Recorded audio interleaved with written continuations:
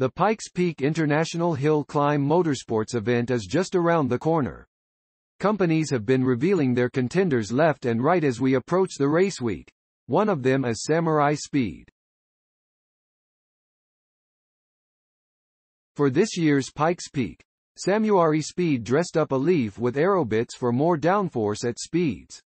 As seen in the images, the Leaf contender comes with a huge front spoiler, skirts, a massive wing, and a diffuser.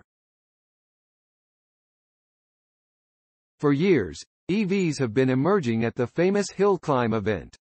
While the first electric car that climbed Pikes Peak happened back in the 80s, it wasn't until 2018 when Volkswagen set the overall record with an EV. Thanks for watching. Credits to www.motor1.com Please subscribe my channel for more auto updates.